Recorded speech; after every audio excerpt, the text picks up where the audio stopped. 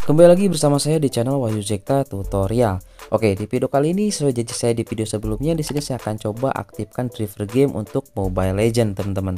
Nah, di sini kita coba lihat dulu di bagian opsi pengembang atau opsi developer. Kita lihat di bagian driver grafis, ya. Kita klik, kemudian kita cari. Nah, ini dia, teman-teman, Mobile Legend hanya ada dua default dan juga sistem grafis driver. Nah, di situ nanti saya akan ubah menjadi driver game. Cara ini hampir sama seperti di Poco X3 Pro, Poco X NFC, kemudian juga di Redmi Note 10s.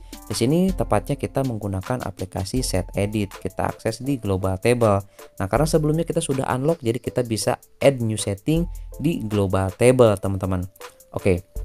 Nah, langsung aja di sini kita masukkan scriptnya ataupun uh, settingannya kita ketik saja di sini ya game kemudian driver underscore kemudian option in apps. Nah seperti ini.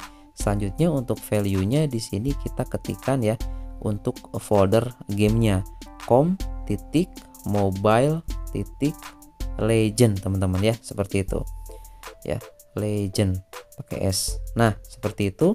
Udah ini kita save aja ya. Kita save change.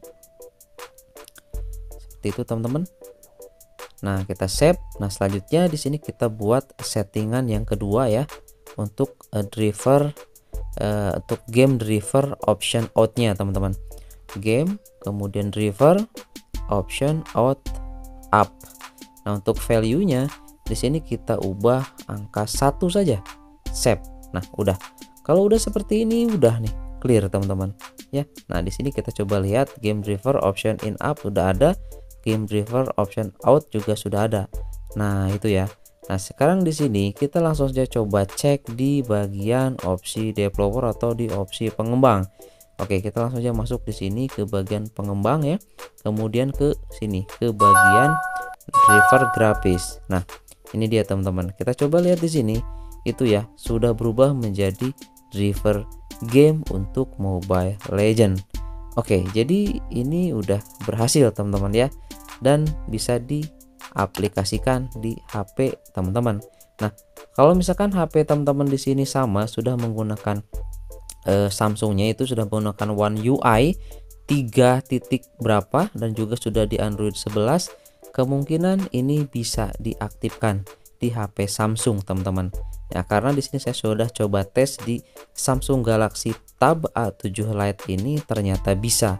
Nah, dengan um, UI ataupun dengan sistem uh, One UI 3 titik sekian kemudian sudah di Android 11 kemungkinan di HP Samsung lainnya ini bisa teman-teman untuk mengaktifkan driver game Oke itu saja mungkin di video kali ini. Mudah-mudahan jelas ya tutorialnya.